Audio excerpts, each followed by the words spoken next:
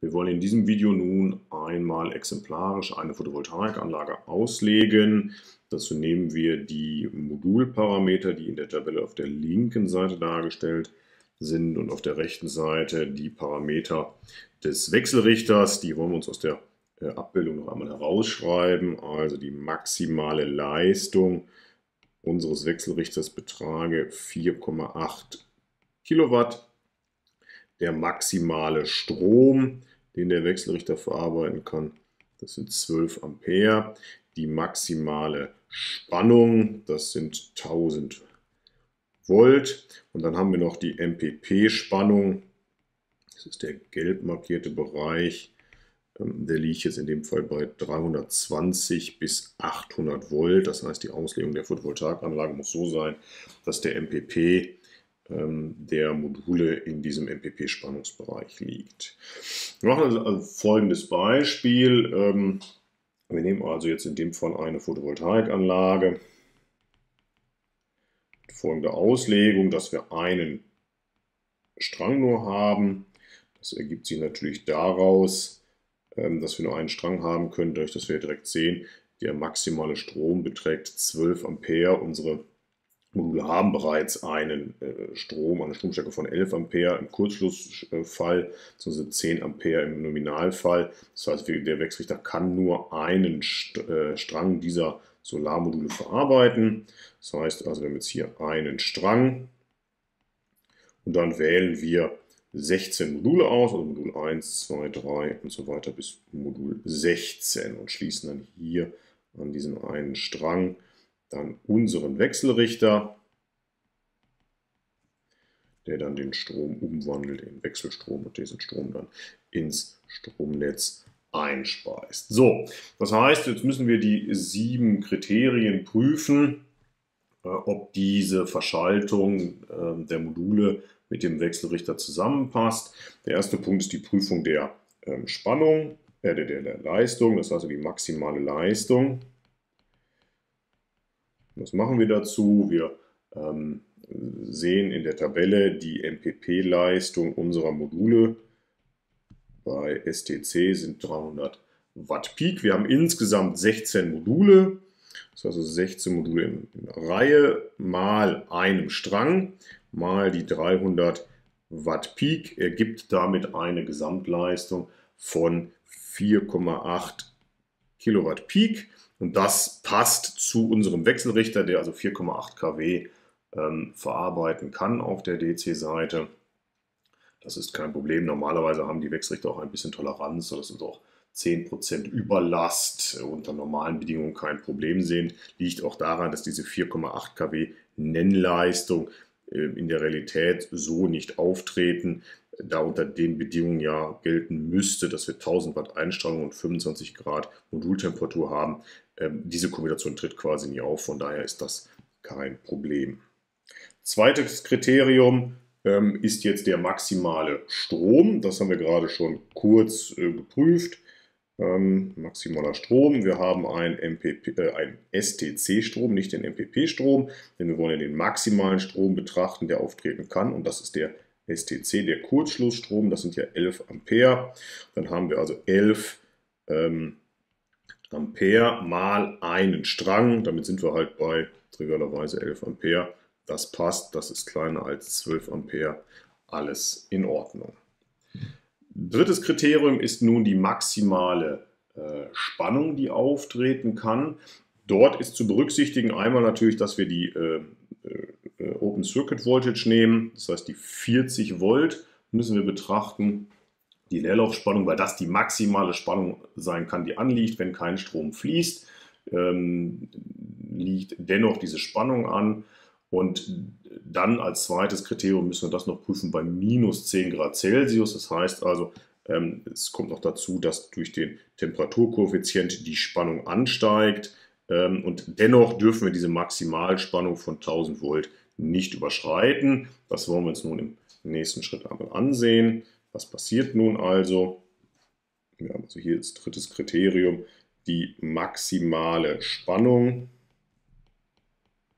bei minus 10 Grad Celsius äh, Zell- oder Modultemperatur. Wir haben also die UOC. Das sind äh, 40 Volt.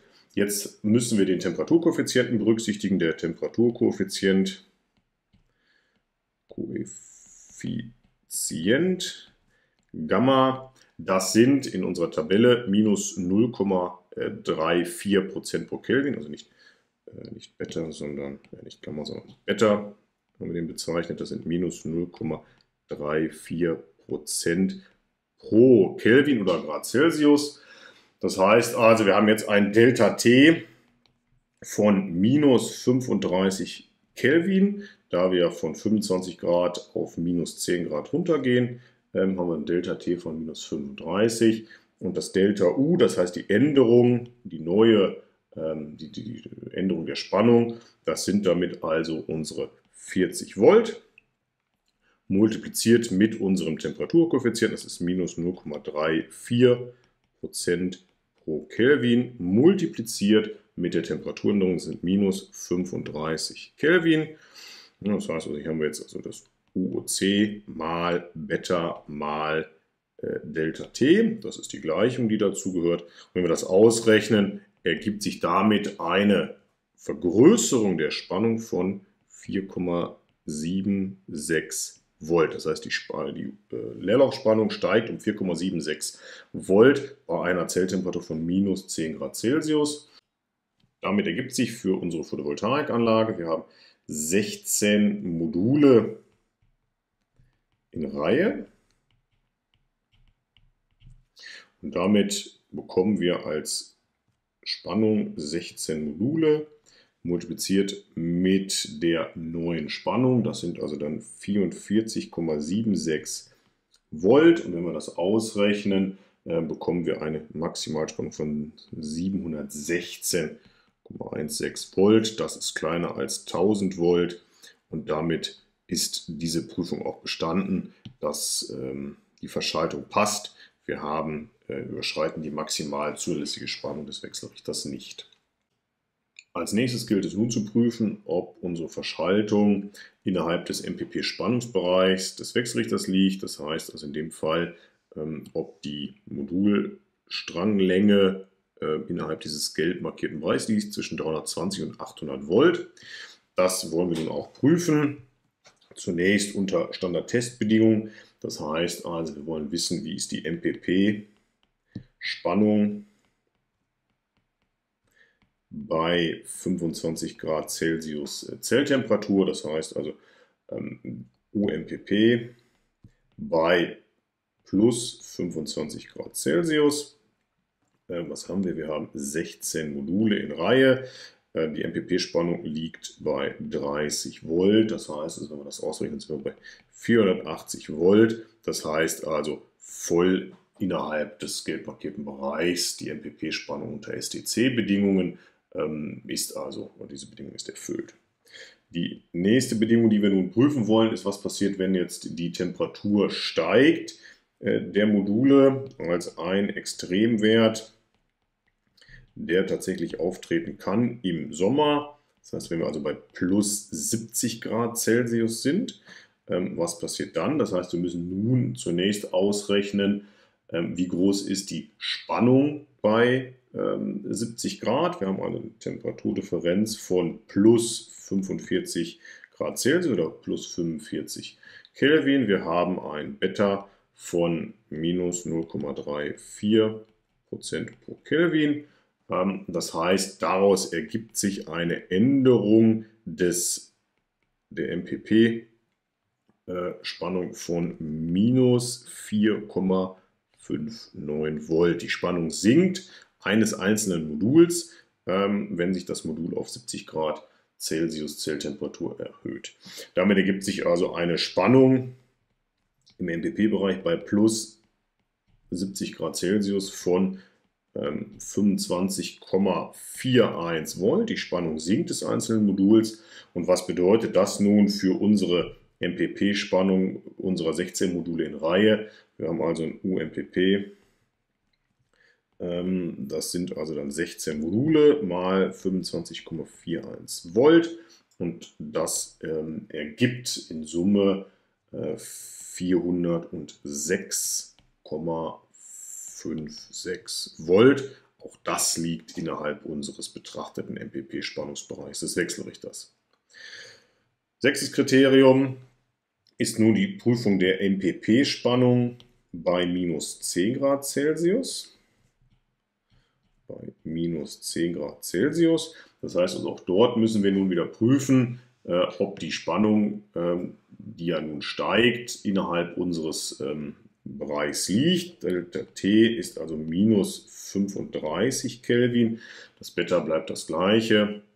Das heißt, hieraus folgt ein Delta UMPP unseres Moduls von plus 3,57 Volt. Wichtig jetzt natürlich, das betrachten wir für die MPP-Spannung, nicht für die UOC-Spannung wie bei dem Kriterium zuvor. Das heißt also, unsere MPP-Spannung verändert sich bei minus 10 Grad Celsius Zelltemperatur auf 33,57 Volt. Die Spannung steigt. Naja, und daraus äh, bekommen wir damit eine MPP-Spannung ähm, unserer 16 Module mal 33,57 Volt. Das heißt, auch die Spannung steigt natürlich. Das sind jetzt in dem Fall 537,12 Volt. Also auch das Kriterium haben wir erfüllt. Und dann bleibt noch das siebte Kriterium zu prüfen ähm, bei äh, lediglich äh, 100 Watt Einstrahlung. Also wenn die Einstrahlung 100 äh, Watt pro Quadratmeter beträgt. Ähm, was wir da noch als Information brauchen, die gebe ich jetzt an der Stelle noch an. Ähm, die MPP-Spannung fällt auch äh, ab, ähm, nicht so stark wie der Strom, aber dennoch ist die MPP-Spannung etwas kleiner. Die setzen wir nur mit 15 Volt an und wollen nun angucken, was passiert. Ähm, wir haben noch gesagt, als Kriterium beim Kriterium Nummer 7, dass wir eine etwas höhere Zellspannung haben. Das Delta T, das sind 5 Grad Celsius oder 5 Kelvin. Dadurch, dass wir bei 30 Grad Celsius Zelltemperatur diese Betrachtung machen, das entspricht also gerade 30 Grad Celsius Zelltemperatur. Hieraus ergibt sich damit ähm, eine Veränderung der, äh, der Spannung. Das heißt also die MPP-Spannung UMPP ähm, in dem Fall bei 100 Watt pro Quadratmeter Einstrahlung und bei 30 Grad Celsius ähm, liegt dann lediglich bei äh, 14,745 Volt. Die Spannung sinkt etwas dadurch, dass die Temperatur steigt. Naja, was heißt das dann für unsere MPP-Spannung in diesem Fall? Äh, wir haben wieder 16 Module mal 14, 745 Volt. Und wenn wir das ausrechnen, kommen wir auf eine Gesamtspannung von 235,92 Volt. Das liegt nun knapp unterhalb unseres, unserer Grenze von 320 Volt. Das heißt, hier haben wir eine Abweichung.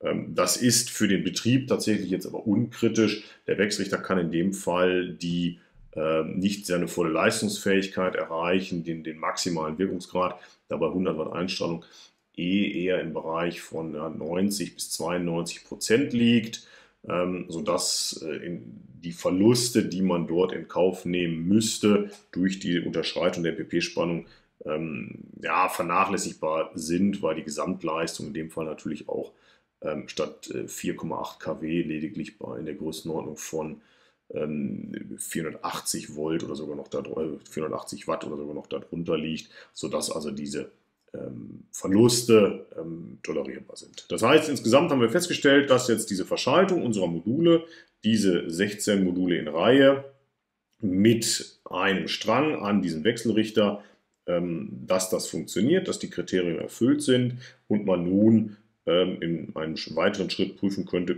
wie sehen nun äh, Stromertrag und äh, der Jahresertrag aus, wie viel Energie produziert diese Photovoltaikanlage an einem Standort unter Bedingungen, bestimmten Bedingungen, was die Ausrichtung und die Neigung der Module angeht. Das schauen wir uns an einem späteren Video an.